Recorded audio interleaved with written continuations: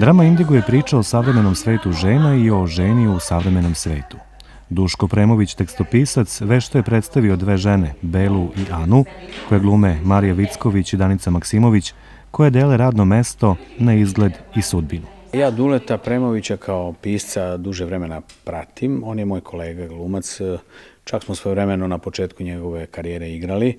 Mislim, u Splitu da smo bili u Peristevu jednoj predstavi, ali svejedno on je u jednom periodu počeo intenzivno da piše i ja sam to pratio pisao je i TV drame i ovaj dramske tekstove i scenare za film, ali ja sam se čitajući to odlučio za ovaj tekst zato što sam smatrao da on nekako najjednostavnije i najdirektnije komunicira sa publikom na temu onog šoka koji je inače u tranziciji vrlo prisutan, a to je otkaz i odnosi u jednoj kancelariji koja je naravno simbolična kancelarija bilo gde u svetu su takvi da dve koleginice, jedna starija, jedna mlađa, uh, otuđeno žive sve do trenutka dok ne dođe nekakav lom, kao što je slučaj sa otkazom i definitivnim odlaskom odatle.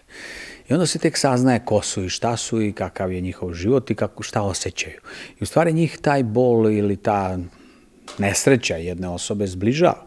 I to je ulaznica za upoznavanje unutrašnjeg sveta. U njima inače žive otuđeno po godinama ništa. Čak su u jednom ratu. Duško Premović kad je napisao ovaj komad, nekako, pošto je on glumac, razmišljao je glumački, rečenica je potpuno prirodna, e, dozvoljavao je da je prilagodimo samo ukoliko baš mora, znači da je bio vrlo isključiv.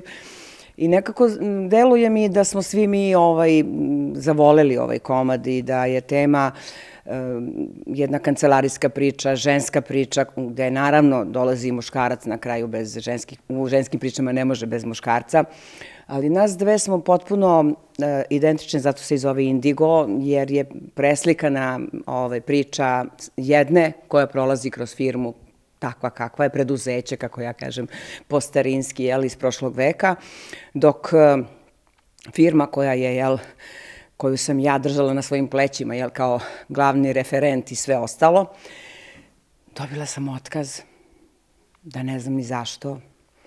I, mislim, drama počinje od početka, ali ne, ne kaže se negde do pred kraj, dok se nas dve zapravo sedimo tu dve, tri godine zajedno, kao i sa mnogim drugima, ne, nekako se ne poznajemo, jel? i stalno se peckamo i stalno je to oko, ne znam, neke turpije koja je to, to, to totalno bezazlena stvar. Ja nisam tražila set Igora. Tražim moju malu turpiju. Da li ste me razumeli? Mlada dama. Ali ovo mlada relativno. E, osim što me gnjavite tim trivialnim sranjem o turpiji vašim duševnim bolovima na tu temu i... I? I još nešto. Zašto pijete? Kako to mislite? Na pitanje odgovarati pitanjem. Zašto toliko pijete? Vi to baš ozbiljno primećujete. A vi mislite da je potrebna velika doza paženja? Pa možda je to moja sklonost ka, recimo...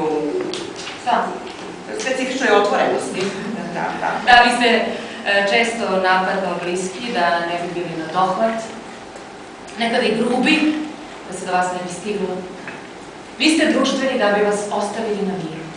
Nakon bujice okršaja, vređanja, podmetanja lažnih telefonskih razgovora, Bela i Ana se zbližavaju, ne bili prebrodile svaka svoje probleme.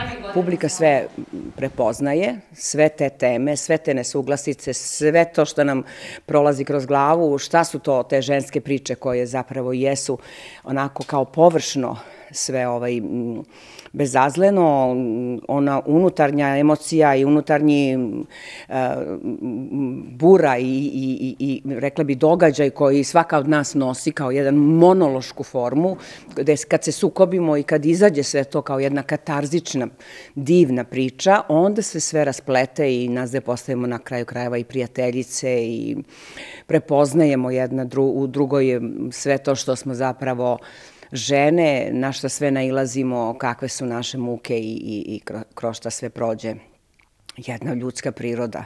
To je interesantan je ta odnos između mene i nje, to na početku kao ta, ka, ta distanca, te maske koje mi imamo svi jedni sa drugima na poslu i kako dođemo do, do tog zbližavanja, jer ipak svi, svi ovaj, u ovom na ovoj otuđenoj planeti imamo i, i srce i dušu, ono što smo zaboravili. Tako da taj trenutak kad se, kad se otvorimo u predstavi, to je mislim meni da kažem možda jedan od najdražih i posle, posle sa Lekom tu scenu posebno volim. Zašto, zašto ste ovde? Ušao sam. To vidim. Šta vam treba? Ništa. Idem. U najlepšim trenucima se rastaju. Bela ostaje sama sve do pojave muškarca, domara i bivšeg dobijaša koji je izlači iz začaranog kruga svakodnevnice nudiće joj brak. Što se tiče muškarca koji se ovde pojavljaju u trećoj trećini predstava koga igram ja, on je iz, iz, iz iste firme, ali iz nekih slojeva E, da tako kažem, ako to možemo na klase da podelimo iz e, nižeg sloja. On radi na održavanju zgrade i jedan je radnik. Nije službenik, nije neko ko je završio fakultet ili neku specijalnu školu, nego se bavi tim. Čak je bio u zatvoru, a je tu zaposlen. Ali šta, on kao muškarac ima vrlo rafiniran, direktan i jednostavan odnos prema jednoj od žena, to je ova mlađa, u kojoj on je zaljubljen i čak joj nudi brak. Ali dobro, O čemu je stvar? Stvar je u tome što u stvari u komadu postoji pre svega to otuđenje, pre svega tematski zanimljiva stvar oko otkaza, što je uobičajena stvar danas, gde god se osvrnete, neko je dobio otkaz i neko ne zna šta će sa sobom, a u godinama u kojima ne može više da bira.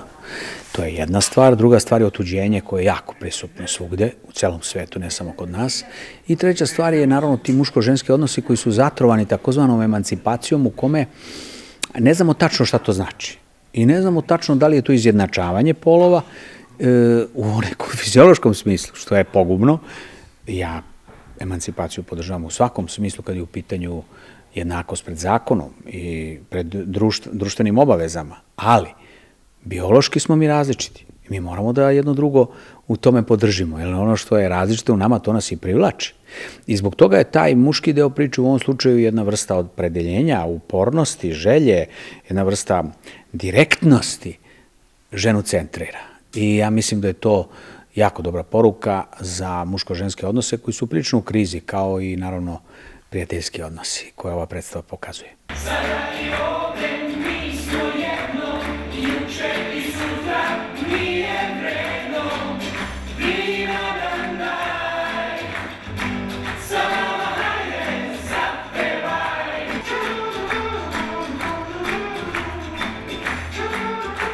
Poseban šarm predstavi daju muzika i songovi Saše Miloševića, koje pevaju glumci. Redom se slažu stvari, scena za scenom, situacija za situacijom, eto i pesme i songovi i suze i smeh i nekako sve, sve, sve nekako relativno, rekla bih, um, umereno, nije ni previše neka drama da bi sad bilo baš mnogo teško, jel, ova vremena i jesu dovoljno teška da, da nam treba malo i smeha, ali je to sve tako negde tragikomično i ljudi sve što primaju, primaju onako realnu situaciju, mi tako to igramo. I naravno da publika to nagradi nema grada u kome nismo bili da zaista ne doživimo ovako predivan prijem i na kraju krajeva i mi sa njima i pevamo i radujemo se.